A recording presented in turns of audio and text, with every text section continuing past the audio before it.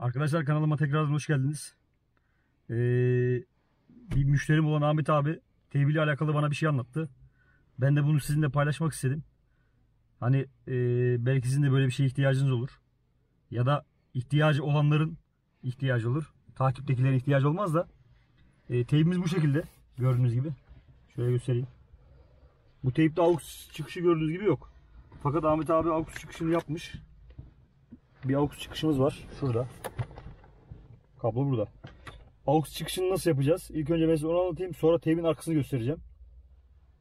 Ee, AUX çıkışını teybi açıyoruz.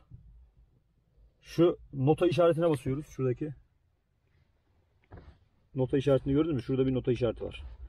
Buna basılı tutuyoruz arkadaşlar. Ekranda bu şekilde bir ekran geliyor.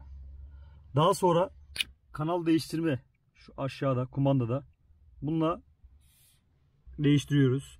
Açık olanları, kapalı olanları gösteriyor. Hız volümü. AUX on. Normalde sizin aracınızda burada kapalıysa eğer AUX off yazar. Ekrandan gözükür. Bunu artı eksi tuşuyla e, onu off'a çevirebilirsiniz. Onu on yapıyorsunuz. Daha sonra e, bu AUX soketini almanız gerekiyor. Siz evde açacağınız için sizde bunun özel anahtarı yoktur. Bende özel anahtarı var. Gördüğünüz gibi şu şekilde. Sizin özel anahtarınızı gösteriyorum. Sizin özel anahtarınız da bu. Altılık çivi. Altılık çiviyi alıyorsunuz. İkisini buradan. Arkadaşlar. Dört tane alırsanız daha kolay çıkartırız. İkisini de buradan takıyorsunuz şöyle.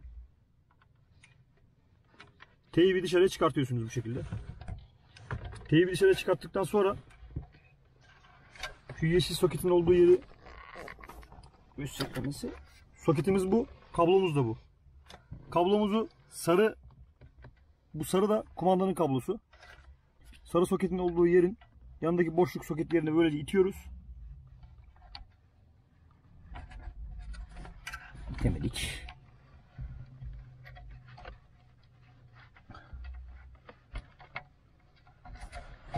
Bu şekilde itiyoruz arkadaşlar.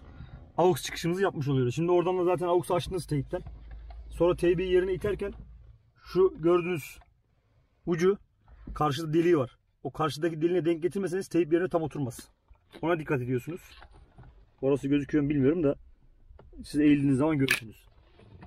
Teypimizi güzelce yerine şöyle getirerek denk getirerek arkadaki kablolar onun ucunun önüne gelebiliyor. Geçmeyebiliyor.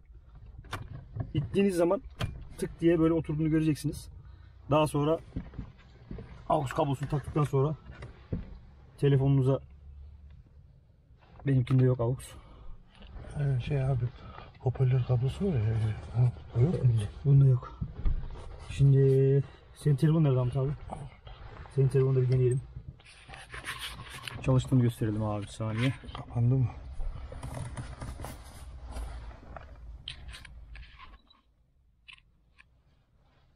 Takalım Ahmet abi.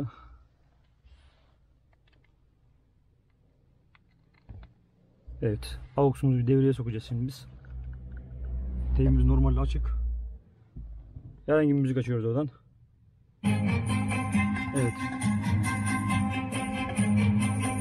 Bu şekilde çalışıyor. Ee, bu kabloyu Evet.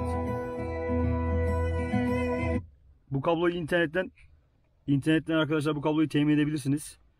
Clio 2 e, radyo aux kablosu diye aratırsanız internette bulursunuz. 8-10 liralık bir kablodur diye düşünüyorum. Bu tarz videoların devamı için arkadaşlar videomuzu beğenip kanalımıza abone olmayı unutmayın. Sonraki videomuzda görüşmek üzere. Hoşçakalın. Evet.